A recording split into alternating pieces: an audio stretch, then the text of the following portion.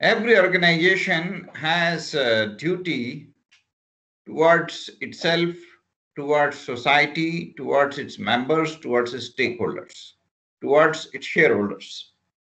A shareholder is a person who has invested money in that company.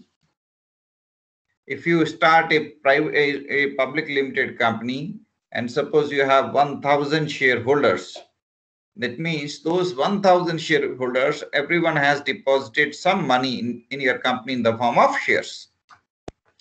So it is your company's duty to provide good rewards on investment.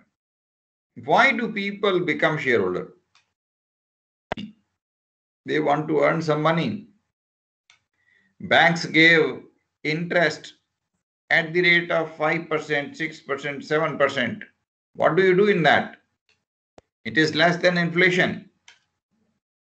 So people want good return for their money. And if you invest your money in right company where there is really good return, probably you will be able to earn very good return. And if you will earn good returns, you will be able to invest that money again in good sectors and over a period of time you will become a wealthy person. So the source of wealth is your investment. If you invest wisely you will become a wealthy person. If you do not invest wisely your money will be wasted you will repent later on you cannot create wealth. If you invest your money in banks like suppose you deposited money in bank's fixed deposit scheme. What return you will get? 6%, 7%, 8%, that's all. If you invest in PPF, you will get return of 9%. But if you invest in good companies, very good companies, properly selecting, ensuring proper uh, track record, you may get returns up to 30% per annum. And if you look at a long term period, let's say 20 years or 30 years down the line, you will be able to see that by investing wisely, you are able to create wealth. You become a wealthy person because you invested money very carefully, very wisely. So invest money very carefully, very wisely, and get very good rewards in the long run. That is the basic fundamental of investment. So if you have established a company as an entrepreneur, it is the duty of your company to ensure that there are good returns to the investors over a long period of time. So what do you do? You create basic policies that we will try to protect and promote interest of shareholders. We will protect and promote interest of stakeholders we will protect promote interest of employees so that you have good employees in your company. You have to create these policies written policies. And these policies will help you in attracting best manpower best employees best investors best supporters best stakeholders. So if your if your company has all these people what will happen? Your company will become a truly great company. If your company's policies are good, good people will join, connect with you. You will be able to grow, your company will be able to grow, and you are able to create wealth. Isn't it? So, your goals have to be very clear. Create wealth through right policies and contribute to wealth creation in society. See, one a fundamental law is that if a company is working for promotion of society, a company is working for protection and preservation of society, society will also try to protect that company. Simple law.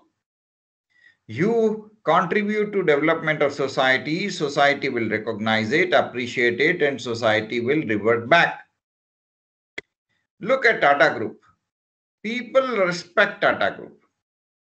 people consider Tata Group equivalent to government universities, government departments, because people believe this group is committed to society's development. Tata, the name is synonymous to quality. The name is synonymous to reliability, right? This is possible because of their policies. Over a period of time, over 150 years, Tata Group has been working for more than 150 years. It has been working since 1850, something like that. So, for 150 years, they have remained committed to their fundamental goals. They have taken these policies, they have written down these policies, they have executed these policies, they have protected the interest of society, protected the interest of investors, protected the invest interest of their employees, followed values, followed ethical guidelines, and that is the result. On the other hand, if you look at uh, Vijay Mallya or Nirav Modi, they did not care for society, they did not care for government, they did not care for uh, others. They try to consume only themselves. And today, you do not find their companies. They are on the verge of bankruptcy. Hundreds of companies have become bankrupt. You look at their history, they were once upon a time so wealthy. Today, they are non existent. They become bankrupt. Why? Find out the reason. Why companies like Tata Group are able to survive. Ultimately, as the member of the board of directors or as CEO of your company, you have to take strong actions to protect, promote, and preserve your company's interest to enable that your company, which you established today, remain for next 100 years. How will your company remain for next 100 years? It will remain on the foundations that you lay. And the foundations are values, the fundamental values that you put.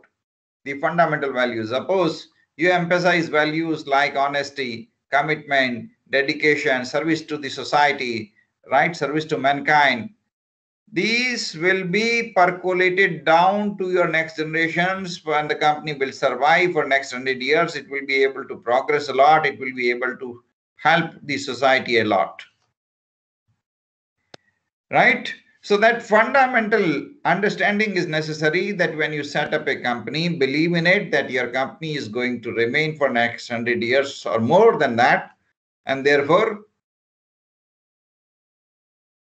you have to set very clear guidelines for corporate governance. Invite the best people of our time in the board of directors.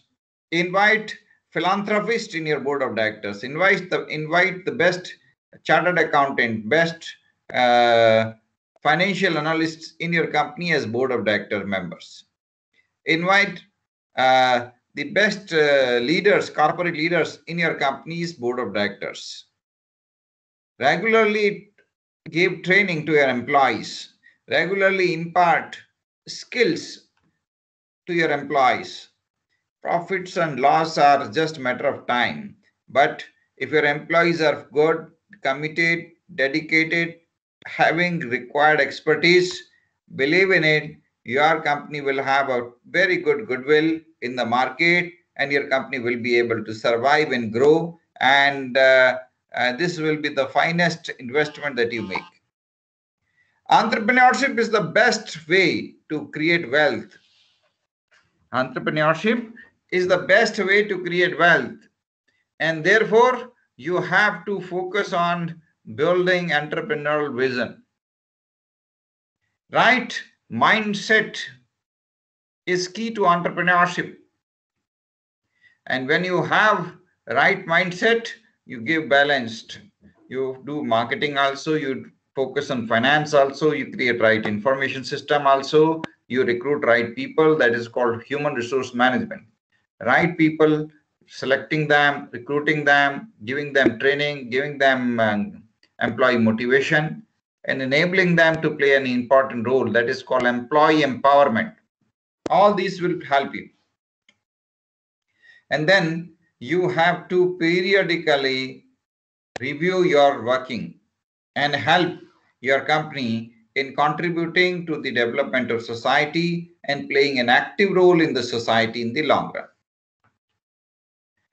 What we find today is that large number of companies have failed miserably because they compromised with their values. They compromised with their fundamental ethics. They compromised with the society. They did not uh, care for social aspiration expectation. You want to create a long-term uh, connection with the world. Your company, therefore, has to have a long-term vision, long-term strategy. Long-term strategy means you have to be very clear what will be your objectives for next 20 years and how will you achieve those objectives what will be the basic strategy? Even try to create open organization octapace openness collaborative create collaborative work culture trust trust your employees create an environment of mutual trust. Follow authenticity principles of authenticity, be proactive, promote autonomy, employee autonomy, and enable creativity and experimentation to take place.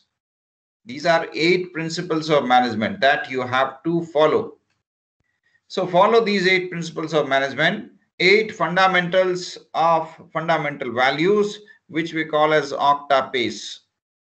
OCTAPACE values will enable you to spread ideals of happy society. Every organization must contribute towards happiness, well-being. Every organization has a duty to contribute to well-being in the society. Every organization is a part of society and therefore it has to contribute to the well-being in the society and society will re reciprocate right the every, the structure of the organization is from top to the bottom. You will be sitting at the top level, somewhere in the leadership. The top leadership will consist of CEOs, chief executives, and thereafter there will be middle management. Thereafter there will be junior management, and thereafter there will be those people who are undertaking work at the ground level. It should be your focus to minimize the levels, reduce the levels of the organization. It should be your focus to meet with every grassroots level worker. Give them respect, give them recognition for what they are doing, encourage them for their innovations. It should be our duty. It should be our duty to spread in the entire organization the fundamental values, the fundamental aspirations, the fundamental vision, mission, goals, strategies that you want to aspire. You have to establish connection with the entire organization and uh, remember, the success of the organization is the outcome of collective effort.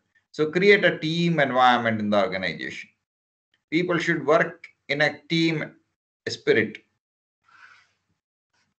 And over a period of time, you will be able to create impact making organizations if you really pursue your dreams of social innovation, social entrepreneurship, social development, and you respect innovation and development.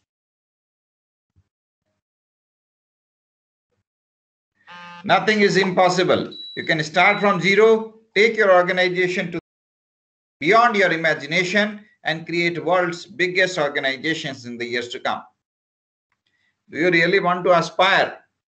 You say yes. You really want to create the greatest organizations of tomorrow. That is what we want from you.